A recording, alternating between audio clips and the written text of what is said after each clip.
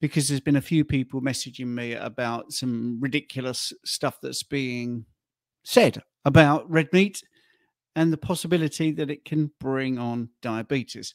Let me just show you a headline, actually, uh, which I think you might find interesting, which is from April 2023. And it was in the Guardian newspaper. British doctor pioneers low carb diet as cure for obesity and type 2 diabetes. And Dr. David Unwin is this person that they're talking about, a great guy. And if you look into what's been said here, that within one year of a low carb diet, 77% of the patients had gone into remission, which is pretty good numbers, actually. So that's strange, isn't it? Because you always thought that, hmm, if you read the Harvard report, maybe you wouldn't think this is possible. You see, diabetes, I'm a specialist practitioner in obesity and diabetes, is not a problem with the metabolism of protein. It's actually a problem with the metabolism of carbohydrates, your blood glucose, and your insulin, and how it all works. So, for instance, when I was doing my studies, I kept putting my hand up and saying, every time you talk about dosing with insulin, it's always in relation to carbohydrates.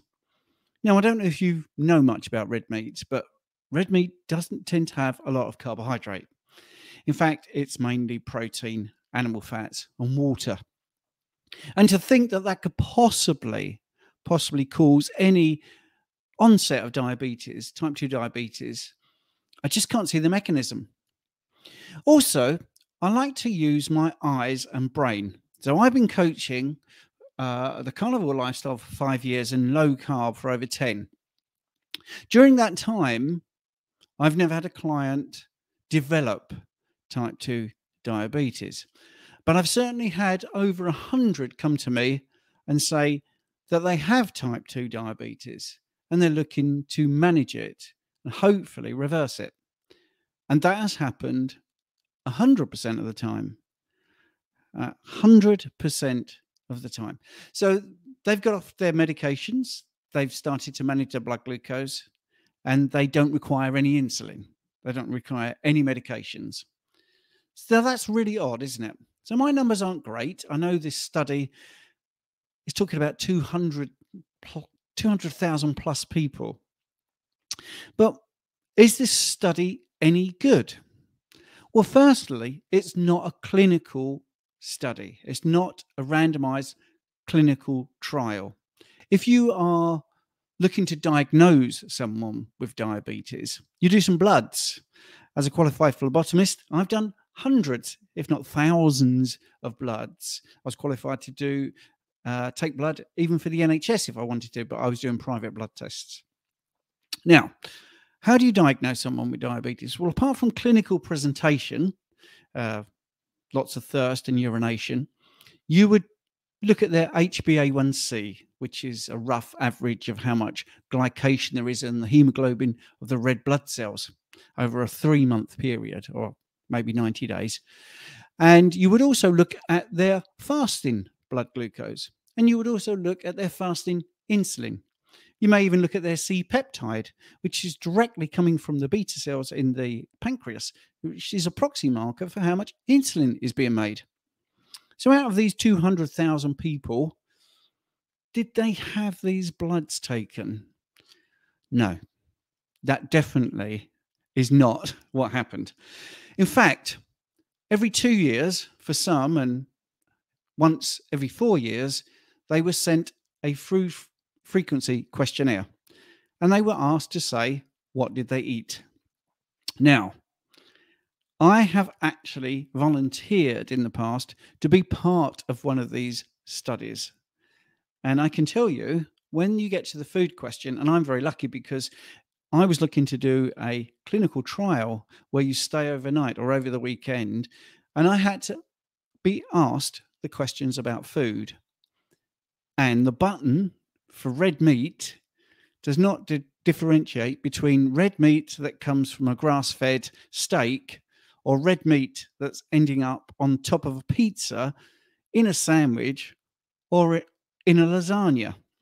So, this study that we're looking at that's getting all this traction is basically looking at lasagna, sandwiches, and pizzas, not grass fed ribeye steaks. Now, I didn't have a ribeye steak until I was 55. Up until age 49, I followed the food guidelines. I did not have a ribeye. I did not have red meat. I did not eat animal fats. I was following the food guidelines. I did not smoke. I did not drink. And I was trying to eat healthy. I was eating fruit and veg. And I was also exercising. I was a personal trainer. I did not smoke. I did not drink. This is called healthy user bias because I was actually health conscious. And yet, this way of eating meant that I was getting tubbier and I had lower left quadrant pain and had a coronary artery calcium scan of 639. Also, I was pre diabetic. So, from my own experience, I know that not eating red meat and not eating animal fat and following the WHO guidelines did not work for me. And it was only when I went low carb, much like Dr. David Unwin, which was mentioned in The Guardian in April 2023. Once I went low carb, I started to see remission of all these problems. Fast forward to here I am at age 59, and all those problems are long, long gone. As we know, you can prove anything by association if you're quite clever with your stats. Now, the most common ones I hear are rates of suicide going up every time Nicolas Cage releases a movie. That's been shown on a website called Dubious Associations.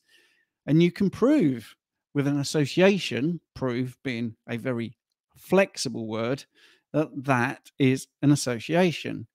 You see, association doesn't really mean anything. It's just saying, look at this, more of this might equal more of this, but it doesn't actually prove a cause and effect. You cannot do that. You cannot say there is a cause and effect.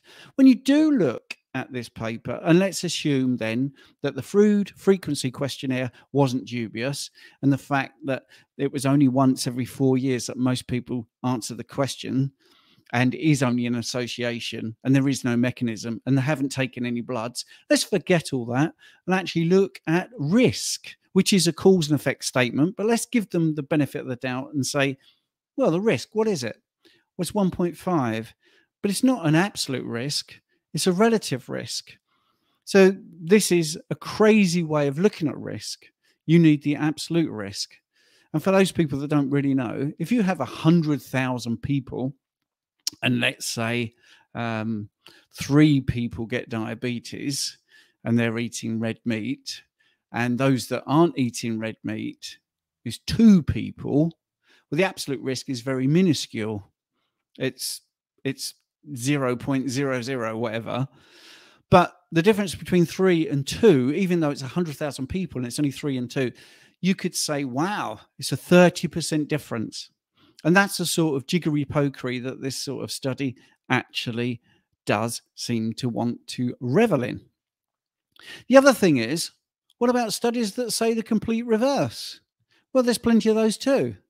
I mean, this study here, results of this meta analysis suggest red meat intake does not impact on glycemic and insulin risk factors for type 2 diabetes. This is a very well respected study too. Well, let's ignore that. Let's have a look at the authors of this study. We can just click on any of their names and we can find out are there any conflicts of interest? Now, Walter Willett, yes, here is definitely somebody that has multiple serious potential conflicts of interest, which cast doubt on his ability to bring an unbiased viewpoint to the question of whether a vegan vegetarian diet is preferable for good health. Absolutely. All these links, by the way, are in the uh, description. In the last few years, Willett's directorship of Harvard T.S. Chan School of Public Health, the school received $455,000 and 1.5 million from companies or groups interested in promoting vegetarian products or vegetarian diets generally. So if you're getting one and a half million pounds for your department because you're promoting a vegetarian or vegan diet, do you think that your study is going to say it's not a good way of eating? No, I don't think that's going to happen. So I just want to really summarize. Firstly, my real world experience with hundreds of clients is that none of them none of them have ever developed type 2 diabetes and what are the odds of that when you're talking over 500 people over 5 years not one and actually 10 years when you look at low carb not one but everyone that's had type 2 diabetes 100% of them have had a remission also it's just impossible to think of any mechanism where this would be a problem because diabetes is not a problem when it comes to protein metabolism or fat metabolism. It is all about carbohydrate metabolism and high levels of glucose. I think everybody knows that. So it is a ridiculous study, an absolute ridiculous study. And that's pretty much all I wanted to say. Um, I wanted to show you that if you want a real good takedown, then you could look at Dr. Zoe Harcombe's um, takedown of this study where she has basically gone through every single thing and found multiple problems absolutely multiple problems i think there was something like 14 issues and i would say that that is definitely worth a click and uh, a look so that was that was it. That was uh, that's basically what i wanted to say